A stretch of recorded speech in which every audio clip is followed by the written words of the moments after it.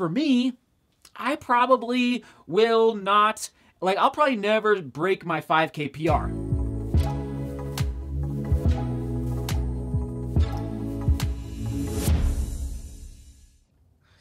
Here we go, onward and upward. How's everyone doing? We're back in the studio, and I appreciate you sticking with me, sticking with the channel through this running injury. Now, that's, you know, an injury is no fun. I'm not out filming up in the mountains for you, I'm not filming beautiful running shots, but the injury allows the opportunity uh, to make vlogs like this one where I'm here in the studio uh, talking with you about whatever the case may be. Like yesterday with 7 billion runners. That was a fun topic to dive into. But today, uh, we're talking about PRs. PRs. So, what does that stand for? For those that don't know, personal records. Some people say PBs, personal bests. Um, I go with PRs, and that's what I'll say today. And it's just amazing when you're making YouTube videos for years on end how you can go back into the archive and look back and see, like, when was the last time on this channel we talked about our, not mine, but our collective PR. So it was January 3rd, 2019. So just barely over one year ago that we brought up this topic and shared together down in the comments all about our PRs. But before we get to that, I want to go back to 10 days ago approximately, where we reflected back on our 2019 running goals. Failed, okay? And I'm gonna be pretty, I'm gonna be very honest, not pretty honest, very honest with myself in order to be more realistic and more um, accountable to myself in 2020, okay? So that was goal number one. Goal number two, hit 400,000 vertical feet. Failed. I did not reach that goal. That was a carryover goal from 2018, actually. And in addition, we talked about our goals for the future for 2020. Through everything I'm learning at the physical therapy office that I'm gonna apply to my routine in 2020. So a healthier runner in 2020 is my goal number one. Exciting times. And again, it's hard to believe that one year ago, January 3rd, 2019, we shared our PRs down in the comments. I wanted to talk about this topic for a while. First of all, quite a few of you ask me this question, like what is my mile PR, 5K PR? I said this one year ago, I'm going to say it again. PRs, they're not an opportunity to brag. PRs, how do I look at PRs, personal records? It's an opportunity to challenge ourselves to climb the mountain and to push a little bit harder in the new year. Do the little things. Probably it probably doesn't mean do more running. It probably means doing the little things in order to meet your next goal, your next personal record. And that's what I love about running, right? Again, it's like there's we're not looking at batting averages or QBRs or whatever the case. It's like it just comes down to time and it keeps it simple. And it but I think PRs are actually a really good thing in, in the sport and a healthy thing, a healthy component, I should say, of running because there, it's that really uh, clear measurement. Uh, that's why I actually also I love uh, course records that are established on one a course that has been, uh, you know, people have been racing on the same course for decades. It's fascinating to go back and look at the record books of races that haven't changed the courses at all. Um, anyway, that's another topic, but uh, which maybe I should mark that down. Course records. I think I will mark that down as a topic to to dive into at some point. But uh, PRs. Here we go. Here's my PRs, and uh, we're going to do a little flashback to 2019 as well as we go through these. Okay, here we go. 800 meters. And I'm not going to give my 400. Who knows? It's probably like 57 or I, it's not fast, but uh, maybe 58. I don't know. Uh, 800 meters in high school. 204. I never broke two minutes. I think I, I think I could have. I don't know if I could ever really break two minutes again. Maybe I could. I don't know. But 204 in high school. And a little side note: four by eight in track. Best race in track and field, in my humble opinion. I love the four by eight. We took second, I think, my senior year. Yeah, we took second place in the 4x8. It's just like such a fun race. Anyway, that's a side note. Okay, one mile, uh, 421 in college, okay? Not blazing fast by any means, but it was a drop from my high school time. So 421 is my mile PR. Um, gosh, who knows? Could I ever approach that again? Maybe I could. I'm not going to never say never, right? Uh, which we'll come back to that in a minute. So 421 for the mile. I guess I'll just give you my two mile, which, oh my gosh, I mean, did I in college? So in college, you run 3Ks. you don't really run 3,200 meters.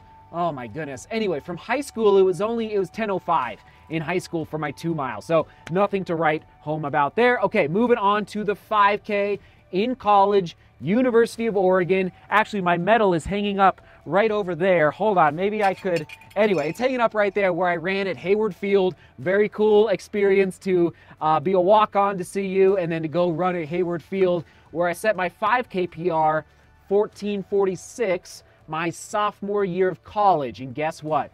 I never had another opportunity my junior year or senior year to try and drop that time because of injury. And I think I think I could have I think I could have approached 14 minutes if I would have stayed healthy. Uh, it just never happened, and it's uh it's uh it's it's bittersweet. Um, and I, this is okay. So now flashback to 2019, one year ago, I said this about my 5K PR. For me, I probably will not. Like, I'll probably never break my 5K PR. No, no, no, no, no. Never say never. After my Amsterdam marathon, and specifically the first half marathon, I now have the confidence. And remember, we talked about this setting goals um, and, and setting uh, our race plan for the new year is confidence. Because of Amsterdam, I now have the confidence that I think I can chase down another 1446 at some point and set a new 5K PR. And frankly, it's on my radar for 2020 or 2021. I just, you know, I got to be careful with how much I'm racing, but it is on my radar. So never say never. I, I honestly, I thought it was the opportunity was way out the window um, one year ago, and that's where it comes in. Like Never stop dreaming, never stop working. You will be amazed at how you can progress um, with consistent training. And yeah, oh, we'll leave that for another time. Okay, 5K, 1446, 10K, 30 minutes and 10 seconds, 30 10 on a cross country course, a golf course in Fort Collins, Colorado, uh, my senior year and it was at elevation. Like it's at it's Fort Collins is basically right at 5,000 feet above sea level. So that 30-10, I think I can set a 10k PR at some point in the next couple of years. I really do. If I could break 30 minutes, I would be beyond happy to uh, go under that 30 minute mark. So. Um, it's not a goal for 2020, but um, anyway, that's my 10K PR on a cross country course in college. Now, one year ago, I said this about my half marathon PR. Now, I had had a great year uh, of base training, of aerobic base training. You know, I, I'm a big fan of that before adding speed. And so that's why I'm interested if I can run 111 solo at elevation on kind of a rolly, turny course. I'm just wondering, like, hmm, maybe I should put the 100 mile distance on hold for a little bit and focus on the marathon, the speed stuff. Pause, pause, pause. I this is I haven't watched this clip in a year and it's crazy to go back and look like I'm so happy I paused uh, ultra marathons and 100 mile races. I'm glad I dabbled in it. For those that don't know, I ran, a, I attempted a 100 mile race in 2018.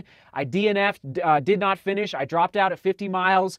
And frankly, it was an eye opener. And it was that negative situation of dropping out of my first 100 mile race that led me to uh, greener pastures, frankly, and, and the opportunity. I'm just so happy that I've put ultra marathon racing on pause for a bit. I don't know how long it's going to be. Anyway, roll the tape. Three months ago here in Denver, in that vlog, upper right hand corner, I solo um, at elevation on kind of a rolly course with some turns. I ran 111 flat, 111, and I was only running 40 to 50 miles a week and I had basically done zero speed training leading up to that time trial. And I, I, it was solo, nobody else was around. It was just me and the pavement, baby. And I ran 111.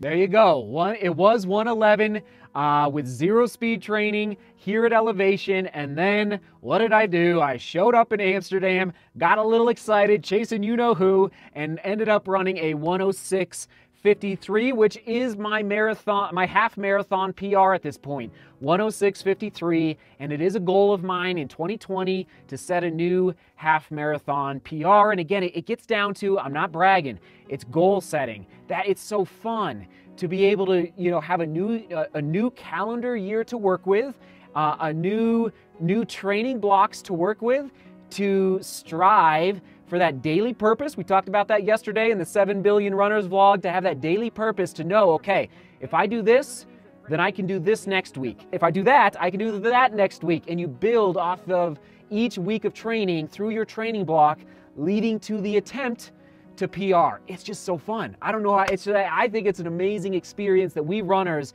get to uh, put ourselves through because it's not always easy, uh, but to put ourselves through.